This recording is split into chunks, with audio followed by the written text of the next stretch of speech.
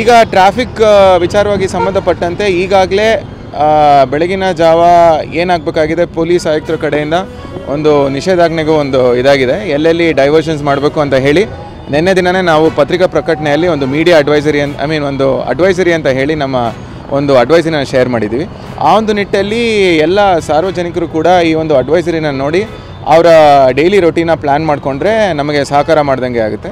ಮತ್ತು ಸಂಜೆ ಕೂಡ ಚೆನ್ನಮ್ಮ ಸರ್ಕಲಲ್ಲಿ ಲಾಸ್ಟ್ ಇಯರ್ನ ನಾವು ನೋಡಿದರೆ ಆಲ್ಮೋಸ್ಟ್ ಎರಡು ಲಕ್ಷಕ್ಕಿಂತ ಹೆಚ್ಚಿನ ಜನಸಂಖ್ಯೆ ಸೇರಿತ್ತು. ಸೊ ಆ ನಿಟ್ಟಲ್ಲಿ ಎಲ್ಲ ನಾಲ್ಕು ರೋಡ್ಸೂ ಜನ ಜನದಿಂದ ತುಂಬಿರುತ್ತೆ. ಸೊ ಎಲ್ಲರೂ ಬೇರೆ ಮಾರ್ಗವನ್ನು ಮಾಡಿಕೊಂಡ್ರೆ ಆಗುತ್ತೆ. ಈಗ ಆಲ್ರೆಡಿ ಜಿಲ್ಲಾಡಳಿತ ಕಡೆಯಿಂದ ಇದಕ್ಕೆ ಅನುಮತಿ ನೀಡಿಲ್ಲ. ಅದೇ ರೀತಿಯಾಗಿ ನಾವು ಸಹ ಕಳೆದ ವರ್ಷದಂತೆ ಅವರು ಮಾಡಿದಲ್ಲಿ ನಾವು ಪ್ರಕರಣನ ದಾಖಲು ಮಾಡಿಕೊಂಡು ಕಾನೂನು ರೀತಿಯಲ್ಲಿ ಕ್ರಮ ಜರುಗಿಸ್ತೀವಿ. ಮಾಡೇ ಮಾಡ್ತೀವಿ ಅಂತ. ನಾವು ಮುಂಜಾಗ್ರತೆ ಕ್ರಮ ಎಲ್ಲ ತೊಗೊಂಡಿದ್ದೀವಿ ಅದಕ್ಕೂ ಕೂಡ ನಾವು ಬಂದೋಬಸ್ತ್ ಮಾಡ್ಕೊಂಡಿದ್ದೀವಿ. ಮತ್ತು ಅವ್ರ ಮೇಲೆ ನಾವು ಮಾಡಿದರೆ ಡೆಫಿನೆಟ್ಲಿ ಕಾನೂನು ರೀತಿಯಲ್ಲಿ ಕೇಸ್ನ ದಾಜ್ ಮಾಡ್ತೀವಿ.